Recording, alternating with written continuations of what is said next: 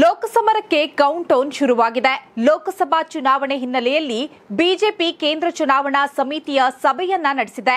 ಸಭೆಯ ಬೆನ್ನಲ್ಲೇ ಬಿಜೆಪಿ ಅಭ್ಯರ್ಥಿಗಳ ಮೊದಲ ಪಟ್ಟಿ ಇಂದು ಬಿಡುಗಡೆಯಾಗುವ ಸಾಧ್ಯತೆ ಹೆಚ್ಚಿದೆ.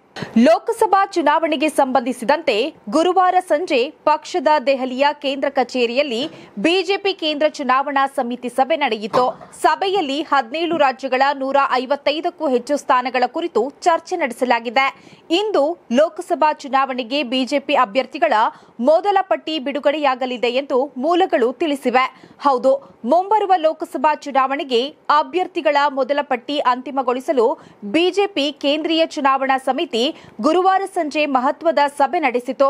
ಸಭೆಯಲ್ಲಿ ವ್ಯಾಪಕ ಚರ್ಚೆಗಳು ನಡೆದಿದ್ದು, ಪ್ರಧಾನಿ ನರೇಂದ್ರ ಮೋದಿ ಸೇರಿದಂತೆ ನೂರು ಅಭ್ಯರ್ಥಿಗಳ ಪಟ್ಟಿ ಇಂದು ಬಿಡುಗಡೆಯಾಗುವ ಸಾಧ್ಯತೆ ಹೆಚ್ಚಿದೆ.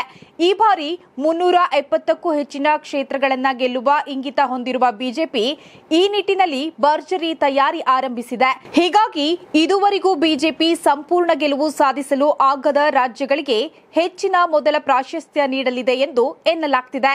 ಮೊದಲ ಪಟ್ಟಿಯಲ್ಲಿ ಅಭ್ಯರ್ಥಿಗಳು ಘೋಷಣೆಯಾದರೆ ಆಯಾ ಕ್ಷೇತ್ರಗಳಲ್ಲಿ ಅಭ್ಯರ್ಥಿಗಳು ಚುನಾವಣಾ ಕೆಲಸಗಳನ್ನು ಶುರು ಮಾಡಲು ಸಹಾಯವಾಗಲಿದೆ. ಪಶ್ಚಿಮ ಬಂಗಾಳ, ತಮಿಳುನಾಡು, ಕೇರಳ ರಾಜ್ಯಗಳು ಮೊದಲ ಪಟ್ಟಿಯಲ್ಲಿರುವ ನಿರೀಕ್ಷೆ ಇದೆ. ಉಳಿದಂತೆ ಪ್ರಧಾನಿ ನರೇಂದ್ರ ಮೋದಿ, ಕೇಂದ್ರ ಗೃಹ ಸಚಿವ ಅಮಿತ್ ಶಾ, ರಕ್ಷಣಾ ಸಚಿವ ರಾಜನಾಥ್ ಸಿಂಗ್ ಹೆಸರು ಮೊದಲ ಪಟ್ಟಿಯಲ್ಲಿ ಘೋಷಣೆಯಾಗುವ ಸಾಧ್ಯತೆಯಿದೆ ಎನ್ನಲಾಗಿದೆ. ಮಾರ್ಚ್ ಹತ್ತರೊಳಗೆ ಮುನ್ನೂರು ಸೀಟ್ ಅಂತಿಮಗೊಳಿಸುವ ಗುರಿ ಬಿಜೆಪಿಗಿದೆ.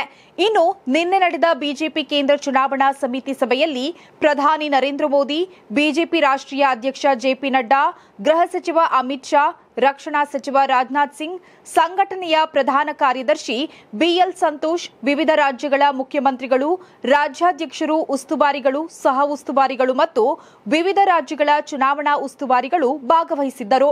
ಈ ಬಾರಿ ಲೋಕಸಭಾ ಚುನಾವಣೆಯಲ್ಲಿ ಒಟ್ಟು ಐದುನೂರ ನಲವತ್ಮೂರು ಸೀಟುಗಳಲ್ಲಿ ನಾಲ್ಕುನೂರು ದಾಟಬೇಕು ಎಂದು ಪ್ರಧಾನಿ ಮೋದಿ ಈಗಾಗಲೇ ಘೋಷಣೆಯನ್ನ ಹೊರಡಿಸಿದ್ದಾರೆ.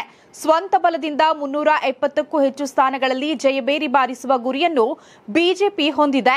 ಈ ಹಿನ್ನೆಲೆಯಲ್ಲಿ ಅತ್ಯುತ್ತಮ ಅಭ್ಯರ್ಥಿಗಳನ್ನೇ ಆಯ್ಕೆ ಮಾಡುವ ಕುರಿತು ಸಭೆಯಲ್ಲಿ ಚರ್ಚೆ ನಡೆದಿದೆ.